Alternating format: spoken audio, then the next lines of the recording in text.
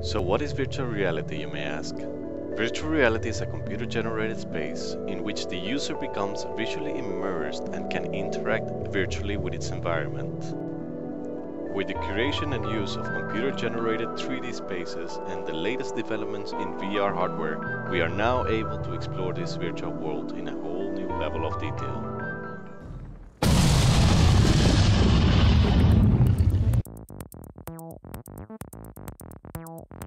you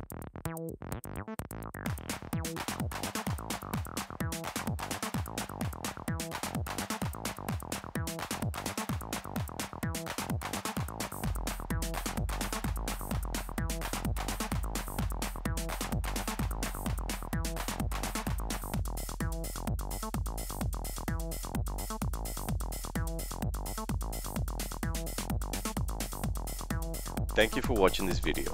If you enjoyed it, like and subscribe below for more on next gen virtual reality.